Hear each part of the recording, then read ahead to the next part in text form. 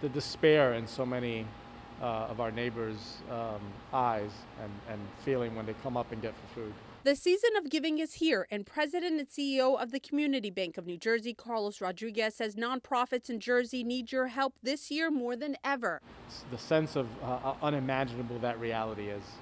Uh, and all you have to do is go to any pantry or any large scale distribution to kind of see that. Uh, just long lines, and you just see the look of shock uh, in people's faces. Nine months later, is still there.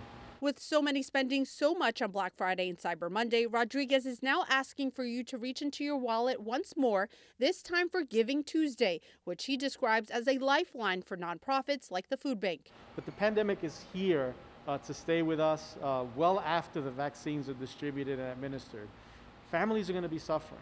Families are suffering. Rodriguez says pre pandemic, the food bank was providing enough food for 50 million meals. He says now they're on pace to deliver more than 80 million meals. If more things are being purchased and there were complications in producing it, uh, what we call supply chain challenges, that's less donations available to food bank.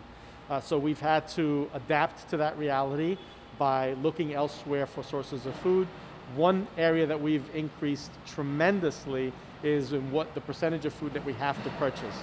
Now, luckily, every dollar helps support up to three meals, uh, so we can really leverage that dollar to help bring in as many meals as possible. The IRS says there are 34 or 35,000 charitable types of nonprofits in the state of New Jersey. Uh, we did some surveying earlier this year. We did three surveys with the Council of New Jersey grant makers, and a small uh, subset of nonprofits responded to that survey said at that time that they had lost over $90 million.